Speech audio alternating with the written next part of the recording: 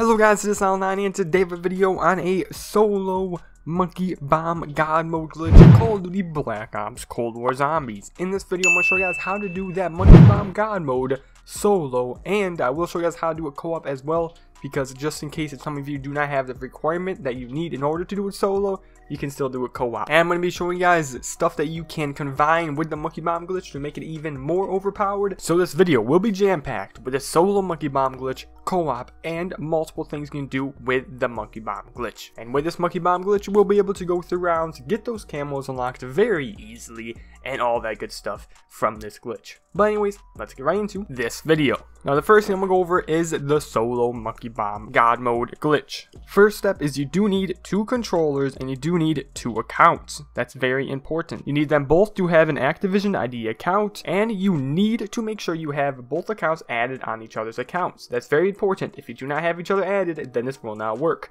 So add each other with the Activision ID. Now, the next thing you need to do after you have all of that done is make sure that the account that has Xbox or PlayStation Live is the primary account. And the way you do that in PlayStation is by going to settings, account management, then go to activate as the primary. Make sure you guys do that and activate it as the primary so you can have all the other accounts, have your games, and have online. That's very important. Next step is go into the game and simply have that second controller connect to your game. So go right ahead and log in and connect that second controller. At this point, I recommend you guys to put this attachment on your gun. This will make it so you get more salvage and you can get this done earlier. So go right ahead, have this on your gun. If you guys can't do it, then just load up without it. It doesn't matter, you don't need it, just makes it easier when you do have it. You want to start the game on whichever map you want to start it on. Doesn't matter which one. When you do load up into the game, you want the main player, which is the player on top, to get the salvage. So let him get 1000 salvage and it's common salvage that you do need for this. Now if you do see a stun grenade or anything like that on the ground, pick that up as well. You guys should be able to see one before you get 1000 salvage, so pick that up. And you know, if it's a decoy, pick it up. Anything like that, just pick it up. But just simply get zombie kills until you get 1000 salvage. And that's, like I said, common salvage. Score ahead, do that, and that should lead you to round around 6 to 7. And you guys should have enough for that monkey bomb. Now once you have enough, you to go over to that crafting bench.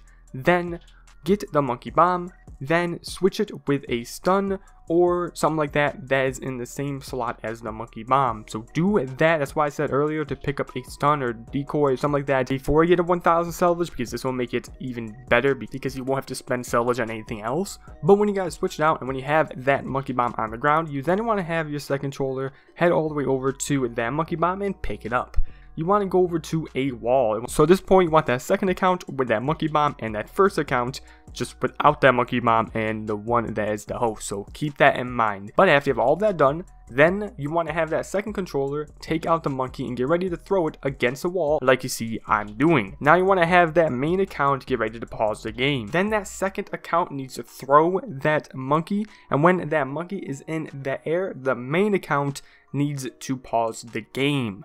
Make sure you pause it in the air, that's very important. At this point, if you're on Xbox, it is a little bit different. What you should just be able to do is leave with that second controller and that should work. I do not have an Xbox, so I couldn't test it myself, but I heard that from other people. So if you do have an Xbox, just try that and that should work for you. But if it doesn't, maybe try what I'm going to say next and it might work. So if you're on PlayStation, you definitely have to do this you want to have both accounts go into social. So have that main account go into social and then that second account go into social. At this point, if you have both accounts added on each other's accounts, you need that. That's very important and it needs to be through the Activision ID. And if you have that, then you want to have that main controller click on the main account of that main controller. That's exactly what you need to do. Then you should see an option to leave. And at this point, you want to go right ahead and leave. Now, when you hit that leave button, you want to wait at least 30 seconds, and that's very important. So sit there, wait 30 seconds, so everything is good because it takes a while for your second account to leave the game. So sit there, wait 30 seconds, and you'll be all good. Just wait there.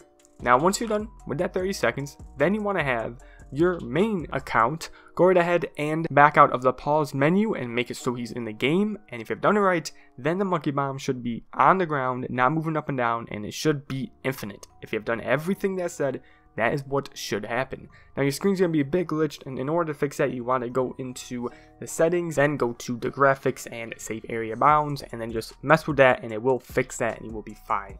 So that's how you guys do this solo. All zombies will go right to the monkey. I went super in depth with this, so you should have no questions. Now, if you have any questions, definitely make sure to ask me down below if you do, but you shouldn't. I went through as in depth as I can, but when you're in this monkey bomb god mode, everything will go to the monkey bomb except for the special, so like the boss and the dogs won't, but all zombies will go to the monkey bomb, which is very, very good and you guys can walk around the whole map. You're not stuck in one spot. You can go around the whole map, and no matter where you go, the zombies will go to the monkey. So this is definitely a very, very good glitch, and this is how you do it solo and all that good stuff. Now I'm gonna go into how to use co-op. The co-op version is a lot easier to do and everything like that, like way easier. So if you don't have another controller or if you just don't want to do this solo method, go right ahead and use co-op method. And you do need another person for this co-op method, so drop a gamer tag down below if you do not have anybody or just try to join my Discord and you can find somebody through that way, which will be the pin comment down below. Now when you get that second player to join in, this is what you need to do. You guys need to go right ahead and try to get this attachment on your gun. Like I said earlier, you know, just get this attachment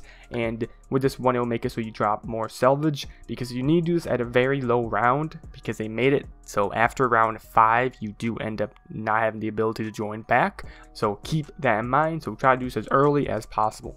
So you guys want to load up into the game. Once you're in the game, you guys want to have that person that is not the host to get the monkey bomb. So have that non-host, get all the kills, have him have the attachment, and he will get that monkey bomb early. And just go ahead and do that. You guys should get it around round 5 or 6. Now, I got it in the footage at round 5. And what you need to do next after you get that monkey is you want to have that non-host get ready to throw that monkey against a wall like you've seen in the solo method. And you want the host to get ready to pause the game. You want that non-host to throw that monkey and when it's in there, you want the host to pause the game.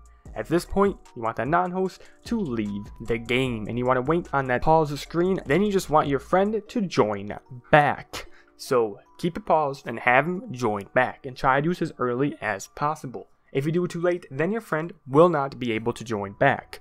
Now, when he joins back, then you can unpause the game, and if you've done everything right, then the monkey bomb should be on the ground, not moving up and down, but just completely still, and it should stay there for an unlimited amount of time. All zombies will go to the monkey, and like I said earlier, the only thing I won't is the bosses and the plague hounds, so keep that in mind. But all zombies will go to the monkey, you can go wherever you want on the map, you can pack a punch, do whatever you want, and all that good stuff. So this is a very, very good glitch, and that's how you do the co-op method. Now I'm going to show you guys a unlimited death machine glitch that could help you guys out with going through rounds in this glitch. Definitely recommend you use this on the special zombies like the Megatons. But if you do this, what you can do is monkey bomb anywheres. It's not just in spawn, you can literally do this anywhere. Get a death machine, use it until you are almost done with the death machine. Do not completely go through with it. Then you want to go to the pack-a-punch, pack-a-punch, press right on the pad to go into the death machine and then once after like two seconds two to three seconds then you want to pack a punch if you've done it right you will see that it will let you get ammo back. And that's it for that. Keep on rinse and repeating that over and over and over and you can get unlimited death machine ammo and you can use that to kill the bosses, to kill the zombies, all that good stuff. That is something can combine with this monkey bomb glitch with either solo or co-op and it will make it even better. So that's it for this video. I know this is a long one, but I wanted to go through the solo version and the co-op version and give you guys some stuff that you can combine with the Monkey Bomb glitch to make it even better. So I want to go fully in depth with both versions. Stay tuned for more glitches on Call of Duty Black Ops Cold War Zombies and tips and tricks. That's it. Hopefully you did enjoy. Now I'm not going to be doing a trick question in this video because this one is a long one and stuff like that. I don't really do ones on long ones like this. But if you did watch this far, put a hashtag glitch hype in the comments down below to see who watched until the very end. If you did, huge shout out to you. You're awesome.